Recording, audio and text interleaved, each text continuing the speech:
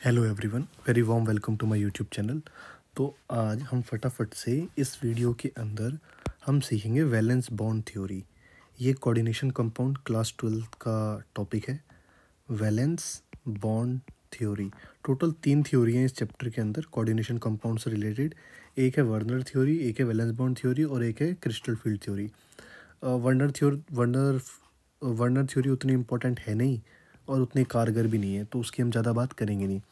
Valence bond theory जो है, ये बात करती है कि ऑर्बिटल्स आपस में ओवरलैप करते हैं, तब जाके बॉन्डिंग होती है। तो इसको सीधा क्वेश्चन से समझते हैं हम ज़रा। जैसे हमें क्वेश्चन दे रखा है ये। C O N H three six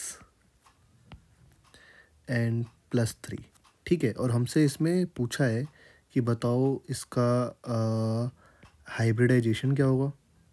हमें इसकी हाइब्रिडाइजेशन बतानी है, ठीक है? हमें ये बताना है कि ये इनर ऑर्बिटल है कि आउटर ऑर्बिटल है? इनर एंड आउटर बताएँगे हम। साथ ही साथ हम इसकी मैग्नेटिक प्रॉपर्टी बताएँगे कि ये पैरामैग्नेटिक है कि डायमैग्नेटिक है। और हम इसका high spin and low spin बताएँगे, ठीक है?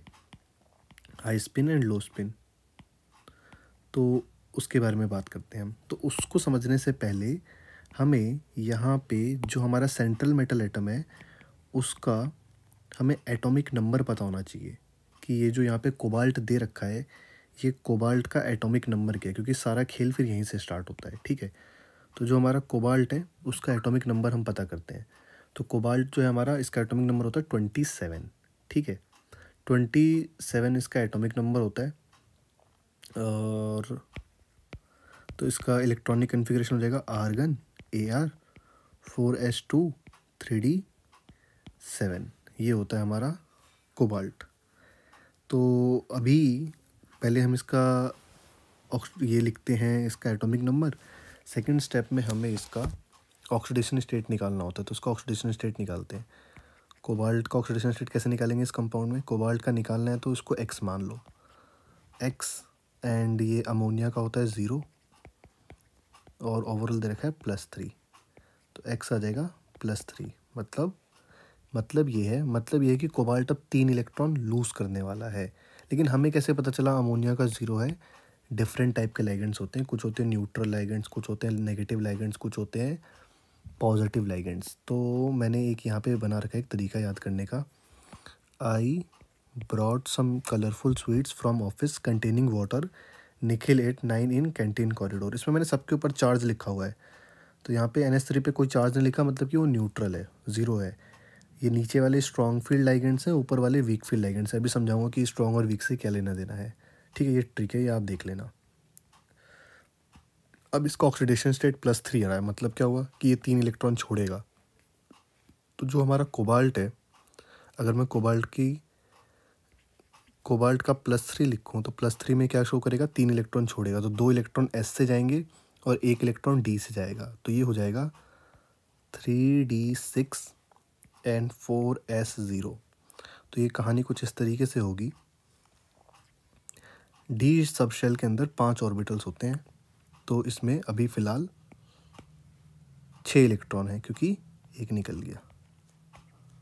ये रहे। और हमारा फोर एस तो पूरा खाली पड़ा है। एंड फोर पी वो भी पूरा खाली पड़ा हुआ है। ठीक है। अब क्या होगा? अब छः अमोनिया है six six ammonia are going to approach तो जब वो अप्रोच करेंगे तो क्या होगा? देखते हैं। तो अमोनिया कहाँ आता है? देखते हैं। अमोनिया यहाँ पर है। तो ये स्ट्रॉन्ग फ़ील्ड लाइगेंड है एन थ्री तो अगर N S three strong field ligand है तो उसकी वजह से पेयरिंग हो जाएगी इन इलेक्ट्रॉन्स के बीच में। ये आपको टेबल देखनी पड़ेगी। ये स्ट्रॉन्ग फ़ील्ड लाइगेंड है। तो अगर ये स्ट्रॉन्ग फ़ील्ड लाइगेंड है तो इसकी वजह से यहाँ पेयरिंग हो जाएगी। और पेयरिंग होने के बाद ये कैसा दिखेगा, वो मैं दिखाता हूँ आपको। अब कौन स्ट्रॉन्ग है, कौन वीक है तो वो स्पेक्ट्रोकेमिकल सीरीज़ से याद करना होता है। तो मैंने ऐसे ट्रिक बना रखी है, जो मैंने अभी आपको नीचे दिखाया वो स्क्रॉल करके। तो आप वो ट्रिक से देख ट्रिक से देख लेना, ठीक है? अब यहाँ पे जो ये इलेक्ट्रॉन से इनकी पेयरिंग हो जाएगी कुछ इस तरीके से। ये दो तो पहले से ही साथ थे। ये दोनों साथ आ जाएँगे। और ये दोनों साथ आ जाएँगे। ठीक है। अब हमारे पास ये स्पेस कुछ अवेलेबल हो गए जिनमें हमारे एन एस थ्री आ सकते हैं। ये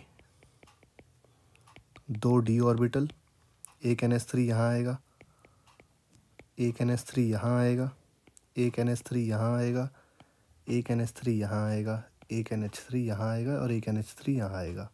ठीक है। तो छः एन एस थ्री आ गए। अब हुआ क्या यहाँ पे? यहाँ पे ये सीखने को मिला हमें डी के दो ऑर्बिटल एस का एक ऑर्बिटल और पी के तीन ऑर्बिटल इन्वॉल्व हो रहे हैं। ये देखो ना डी के दो ऑर्बिटल एस का एक ऑर्बिटल और पी के तीन ऑर्बिटल तो इसकी हाइब्रिडेशन हो गई डी एस पी थ्री ठीक है? तो हाइब्रिडेशन बताते हैं हम ऐसे देखकर। तो हाइब्रिडेशन हो गई D two S P three मैंने गलती से डी बोल दिया पहले D two S P three ठीक है? D two S P three अब ये इनर ऑर्बिटल है कि आउटर ऑर्बिटल है? अच्छा इसकी ज्योमेट्री क्या होगी? ज्योमेट्री होगी ऑक्टाहेड्रल ज्योमेट्री ऑक्टाहेड्रल होगी। अब इनर ऑर्बिटल है कि आउटर ऑर्बिटल है, ये कैसे बताते हैं? अभी फ़िलहाल principal quantum number four S और फोर पी स्टार्ट हो रखा है। Principal quantum number four start हो रखा है, लेकिन जो डी ऑर्बिटल यूज़ में आया है, वो एक पहले वाला आया है। मतलब अंदर वाला डी ऑर्बिटल यूज़ में आया है।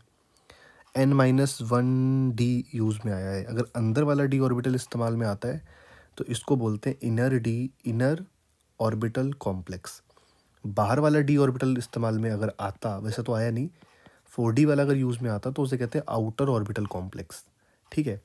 तो इसको बोलेंगे हम inner orbital complex inner orbital complex दूसरी बात हुई पैरामैग्नेटिक है कि डायमैग्नेटिक है? अगर सारे इलेक्ट्रॉन पेयर्ड हैं, एक भी इलेक्ट्रॉन अनपेयर्ड नहीं है, सारे इलेक्ट्रॉन पेयर्ड हैं तो इसको बोलते हैं डायमैग्नेटिक डायमैग्नेटिक कंपाउंड वो होते हैं जो मैग्नेटिक फ़ील्ड से रिपेल करते हैं। तो ये मैग्नेटिक फ़ील्ड की तरफ़ अट्रैक्ट नहीं होगा, रिपेल करेगा, क्योंकि सारे इलेक्ट्रॉन पेयर्ड हैं। अगर एक भी अनपेयर्ड होता तो इसे हम पैरामैग्नेटिक कहते हैं। हाई स्पिन के लो स्पिन, अगर इलेक्ट्रॉन अनपेयर्ड है तो हाई स्पिन, अगर एक भी इलेक्ट्रॉन अनपेयर्ड नहीं है तो लो स्पिन। यहाँ पे एक भी इलेक्ट्रॉन अनपेयर्ड नहीं है तो ये कहलाएगा लो स्पिन। ठीक है? और अगर मैं इसका नाम लिखना चाहूँ तो नाम भी लिख देता हूँ। इसका नाम होगा hexa hexa amine cobalt oxidation state three और आयन ये इसका नाम होगा, ठीक है? तो ये होती है वैलेंस बॉन्ड थ्योरी अगर आपको अभी भी कोई डाउट है, और ये आप याद कर लेना स्पेक्ट्रोकेमिकल सीरीज़ आपको कुछ पूछना हो, कोई डाउट हो तो आप कमेंट सेक्शन में मेरे से पूछ सकते हैं, ठीक है? Thank you so much for watching this video